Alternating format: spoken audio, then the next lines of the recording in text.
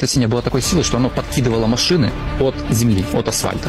Ну, вот представьте, вы решили с дома работать семьи родных, близких, и вам дали 300 евро, там сильно поможет. Но на практике, то, что мы слышали от людей, это приезжали соответствующие инстанции, сделали фотографии, выкинули в перемешку с этими палатками какие-то там продукты, какую-то одежду, просто как собакам, и уехали.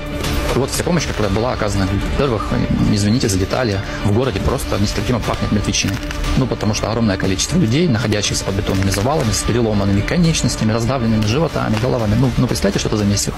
И ты по этому городу идешь, СМИ это все не показывают. СМИ показывают культурную картинку, как какой-то замечательный политик приехал, дал там тортик, спас ребеночка, замечательно, класс. Вот то, что просочилось на СМИ. То, что происходило на самом деле, то, что нам в своих телефонах показывали люди, фильм ужасов это просто детский сказ. Но а, приехало 20 тысяч человек.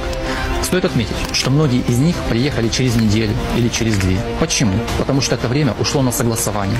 По официальным отчетам общественных международных организаций им необходимо было время, чтобы выявить потребности пострадавших людей и понять, какую им необходимо оказать помощь. То есть вот этот бюрократический маразм в прямом смысле слова каждый день люди без еды, без воды. В большинстве своем с переломанными конечностями, под бетонными завалами. На улице в то время было а, минус 5, минус 10. Представляете себе, да, что происходило. И по а, заявлениям турецкого сейсмолога Ахмеда Эджана, 180 тысяч человек после землетрясения находилось под завалом. Это то, что открыто, то, что официально. И скольких из них удалось вытащить? Вот считаем, приехало 20 тысяч спасателей. У нас 20 тысяч домов разрушено полностью до основания. Это по одному спасателю на дом. По одному человеку на дом. В сети есть большое количество видео людей, которые жалуются, что спасатели приезжают, говорят, мы вам поможем, ждите, и уезжают. И такого очень много.